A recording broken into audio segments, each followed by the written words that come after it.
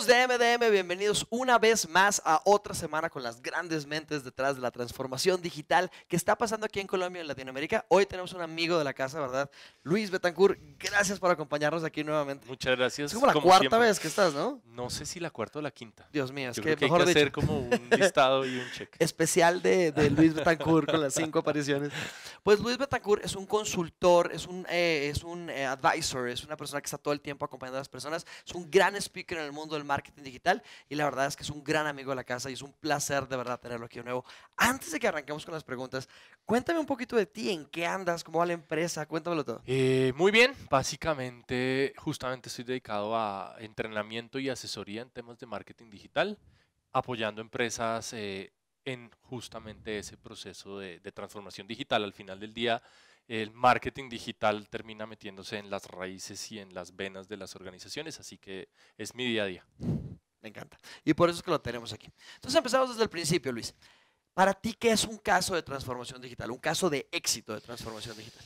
Creo que sería una organización que ha logrado implementar la tecnología y sembrarla en sus procesos y en su operación, de manera que en general la organización funciona de una mejor manera o logra ser más exitosa, vende más o tiene procesos más estructurados, mejor organizados y eso finalmente pues repercute en las utilidades y en el desempeño de la empresa.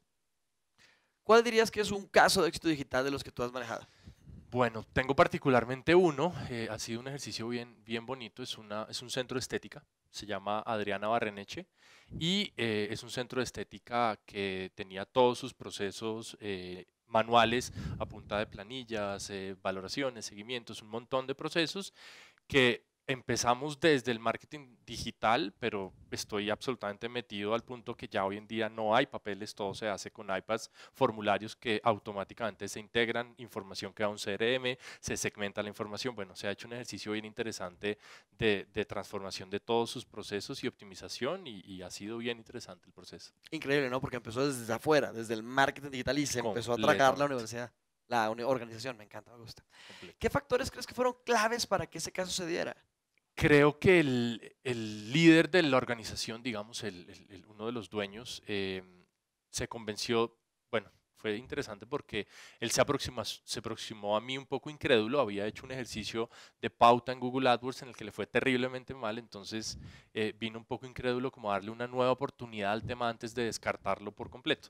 Y no solamente fue exitoso el ejercicio que hicimos de pauta, sino que terminamos haciendo un ejercicio completo de transformación y él se volvió una pieza clave al creer en el tema, vivirlo y transmitirlo a toda su organización.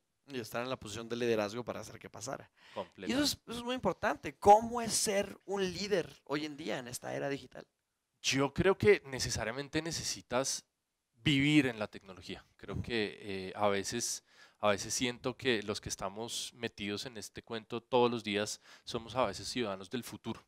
Estamos metidos en tantas plataformas y en tantas tecnologías que a veces, a veces siento un poco que, que nos estamos adelantando al, al promedio de nuestra época y creo que eso es lo que necesitamos un poco.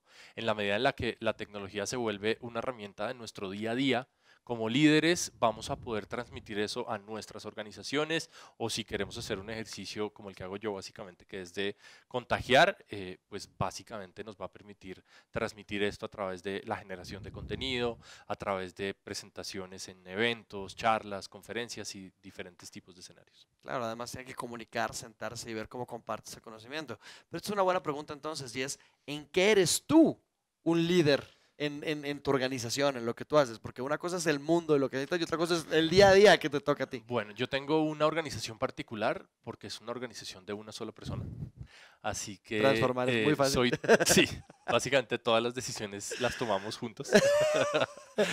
Pero definitivamente, eh, en mi óptica personal, definitivamente eh, lo que más me ha funcionado es eh, trazar, digamos, un poco eh, los caminos y de alguna forma siempre he ido teniendo muy claro hacia dónde eh, voy a caminar.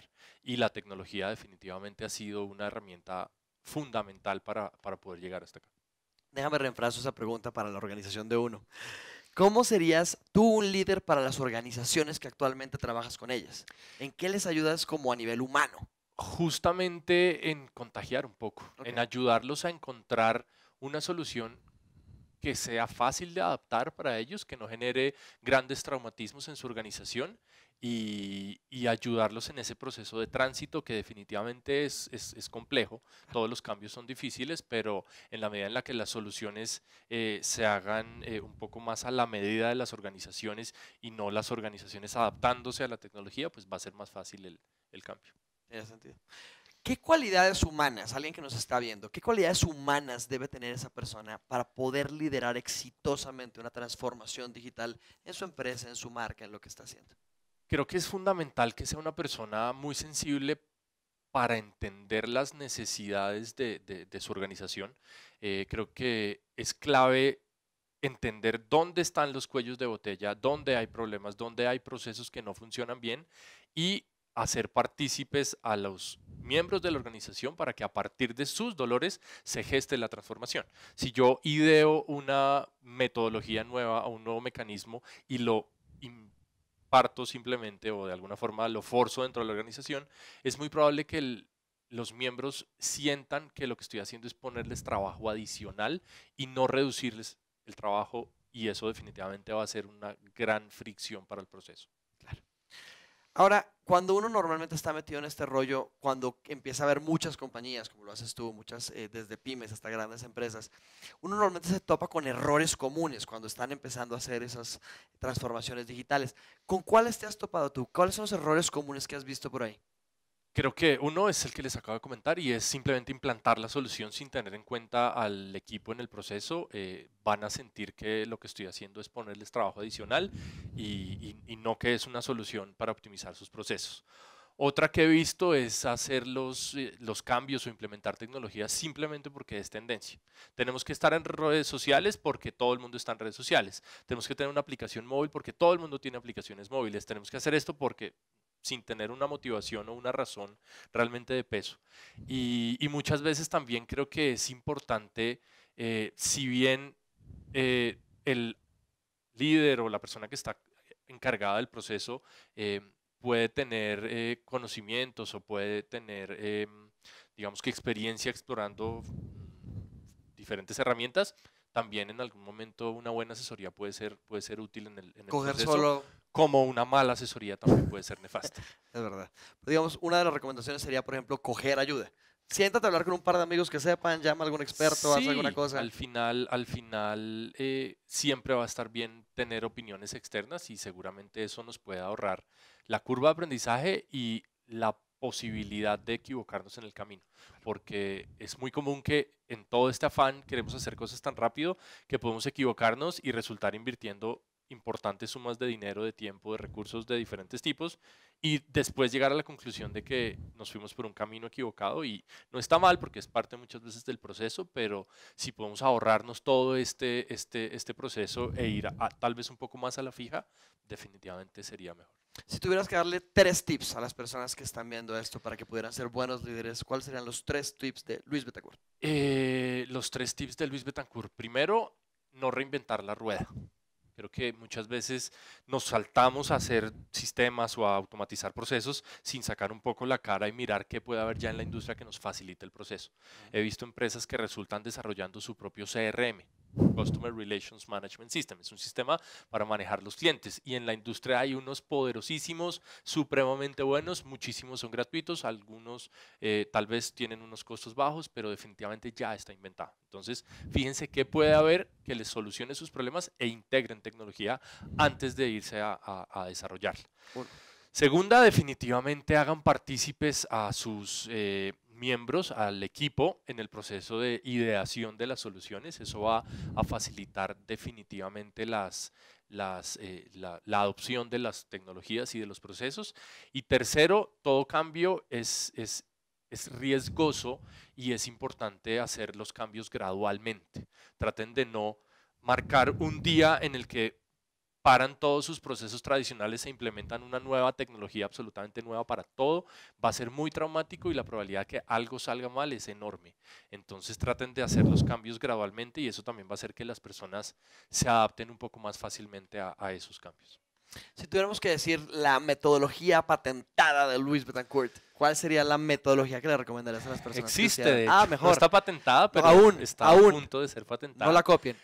Justamente el, el marketing digital ha sido para mí como esa, esa pieza importante para, para entrar en el proceso, porque si tú vienes a venderle transformación digital a una empresa con el, digamos, con el sueño de vas a mejorar tus procesos, tu organización va a funcionar mejor, vas a optimizar tus tiempos, puede ser que te crean, pero no es tan fácil. En cambio, si tú empiezas demostrándole que el mundo digital le puede traer clientes y ingresos, primero le generas ingresos, a partir de ahí ya vas a tener una persona que está convencida del potencial que tiene el mundo digital y esa es la puerta de entrada. Por eso yo desde el marketing digital empiezo consiguiendo clientes y luego ayudándolos de ahí para atrás para gestionar mejor esos clientes y luego cuando ya... eh, han- se, han, se han se han convertido en clientes, procesar mejor sus eh, operaciones, tener un mejor soporte, un servicio al cliente, un seguimiento, un acompañamiento, eh, bueno, y todo lo que viene dentro de la organización. Tiene todo el sentido del mundo. Entonces, la metodología oficial es de afuera para adentro. Total. ¿Qué áreas deberíamos de tomar en cuenta cuando estamos hablando de una transformación digital en nuestra empresa? Bueno, pues definitivamente desde mi experiencia, pues no podría faltar el área de marketing. eh, es fundamental. Normalmente va muy de la mano con el área comercial. Típicamente cuando yo intervengo en una empresa, vende de la manera tradicional, maletita, tocar puertas y ofrecer servicios. El marketing digital normalmente entra en esa dinámica consiguiendo clientes que ya están interesados previamente. Entonces eso transforma los departamentos comerciales y cuando automatizamos a través de un CRM ese proceso de acompañamiento, normalmente eso, eh, digamos que lleva a optimización en, en los cierres de ventas. A partir de ahí ya ah, va a haber seguimientos en temas de presentación de cotizaciones, eh, facturación, eh, soporte, seguimientos, incluso, bueno, nóminas, contabilidades. Hoy en día tenemos la ventaja de que hay básicamente un software para todo. Y definitivamente eh, ahí es donde tiene sentido eh, utilizar diferentes plataformas que en lo posible se puedan integrar. Así que eh, creo que hoy en día una empresa, así no sea una empresa netamente digital y su producto no sea digital y lo que vende no es digital, definitivamente va a encontrar un montón de herramientas que le pueden ayudar en todos los eslabones de, de- de- de la empresa para mejorar y optimizar sus procesos. Cuando uno ya arranca un proceso de transformación digital, Luis, uno normalmente se topa con unos obstáculos que, que no es que no lo haya planeado bien, pero solo hasta que uno arranca de verdad se topa con ellos. ¿Cuáles son esos obstáculos clásicos que uno se topa cuando empieza una transformación digital? Yo creo que uno de ellos definitivamente son los posibles errores que pueden suceder en el camino. Definitivamente no, no es tan probable que esto mágicamente vaya a funcionar como un relojito desde el primer día. Entonces seguramente hay que eh, crear una cultura de, de- de optimización y que toda la organización entienda que este proceso requiere una calibración y, y que definitivamente van a surgir problemas en el camino y es parte del proceso para que no entren en shock cuando algo salga mal, definitivamente va a haber ese tipo de casos.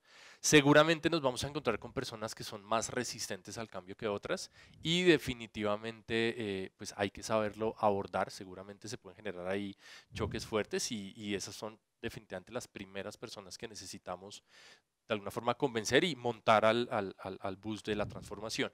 Y tal vez el, el tercer em, obstáculo que encontraría es que no sé si sería un obstáculo, pero en ocasiones esto requiere una inversión. No es como voy a encontrar un montón de plataformas gratuitas y voy a hacer magia y voy a volverme millonario sin invertir absolutamente nada. Entonces creo que es importante ser consciente de que vamos a encontrar unos costos asociados a las plataformas y es importante entender que esas plataformas me van a facilitar la vida. Seguramente me voy a ahorrar tiempo, dinero, incluso me podría llegar incluso a ahorrar algún tipo de personal al utilizar esas plataformas y eso es importante para justificar ese tipo de inversiones. Ahora sí, abordando el segundo, que tú me contabas ahorita puntualmente. ¿Qué experiencia o cuál ha sido tu truco para poder montar a las personas al bus de la transformación digital? ¿Cómo debemos incluirlas? Definitivamente creo que el ejemplo. Yo básicamente vivo en la tecnología. Hace menos de cuatro meses cambié de teléfono y estuve más o menos un mes sin celular. Y fue un mes crítico porque me di cuenta lo importante que es para mí un buen teléfono celular. hice la cuenta y tengo 37 aplicaciones que uso al menos una vez a la semana. Entonces, realmente hoy en día para mí el computador es un dispositivo importante, pero para mí el celular es absolutamente fundamental y yo procuro mucho desde el ejemplo siempre estar irradiando uso de la tecnología. Un detalle sencillo que desde hace poco estoy utilizando y normalmente llama mucho la atención. Cuando yo termino una charla o una conferencia es muy usual que alguien se acerque con una tarjeta. Desde hace unas cuatro o cinco semanas implementé una automatización en la que cuando me dan una tarjeta le tomo una foto, tengo un sistema que automáticamente escanea la foto, extrae la información de contacto, la mete a mi CRM y le manda un correo electrónico a la persona con mis datos. Me encanta. Luis, última pregunta, y es esta, y creo que es la pregunta que todos nos tenemos que hacer, y es, ¿cómo sé que mi empresa, mi marca, mi organización está lista para iniciar una transformación digital? Bueno, creo que es importante identificar que los procesos dentro de la empresa ya tienen un buen nivel de claridad y ya han madurado, ya tenemos claro cómo funcionan. Y además identificamos probablemente algunas ineficiencias en el proceso. Normalmente en esas ineficiencias es donde la tecnología tiene mayor valor para aportar. Eh, eso nos puede ayudar a poder destinar el tiempo y la capacidad de las personas en actividades que generen más valor. Las cosas repetitivas, los procedimientos eh, muy sistemáticos, definitivamente se pueden eh, automatizar un robot, una máquina, un programa va a ser mucho más eficiente en ese tipo de cosas y el cerebro humano puede estar mucho mejor encaminado hacia otras cosas. Entonces, no se trata de reemplazar a los seres humanos por máquinas, que a veces es lo que, lo que pensamos y Tal vez ahora que lo pienso, ese puede ser un, factor de obstáculo. Muchas veces estos procesos generan, em, digamos que reacciones adversas porque las personas sienten que las van a reemplazar. Y realmente no se trata de eso, no se trata de que despidamos a todas las personas y simplemente nuestra organización funcione con máquinas. Es realmente tal vez reencaminar los seres humanos hacia labores que generen mayor valor. Bueno, pues ya lo oyeron de la boca de Luis Betancourt, que está aquí acompañándonos a responder estas preguntas sobre todo lo que tenemos que hacer para de verdad estar listos para guiar como líderes a nuestras organizaciones para movernos hacia el siguiente paso de la transformación digital. Luis, mil y mil gracias por habernos acompañado. Mil y mil gracias a ustedes por habernos acompañado este episodio, como todos los demás episodios. Nos vemos la próxima semana con más invitados. Danos unas últimas cositas tuyas como para poder seguirte en redes sociales. Bueno, los espero básicamente en los canales digitales Dado que me dedico al marketing digital, lo mínimo que debería pasar es que ustedes busquen en Google Luis Betancourt y aparezca ahí si no tenemos problemas. Si no, cualquier información, info arroba luisbetancourt.co, me encuentran en Twitter, en Instagram, en Facebook, en LinkedIn, bueno, en todos los canales digitales, más que un gusto poder apoyarlos y acompañarlos en su proceso de transformación digital. Un abrazo.